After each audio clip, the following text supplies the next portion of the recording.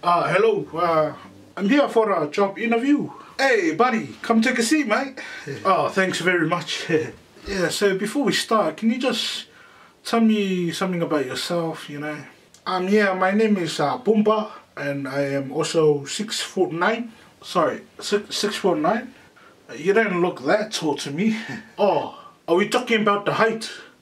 I thought I was talking about the height of my sausage. um, okay, um, anyways, uh, what's, what's your education like? Oh, back in island, I take in all the educations, I take in the literacies, um, the mathematics, all those things I, I, I know, you know, I learned.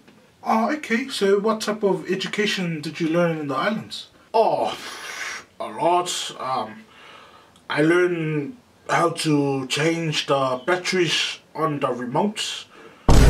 Okay, now, you know what, um, I'll just take your CV for now. Oh yeah, for sure. My CV is over here.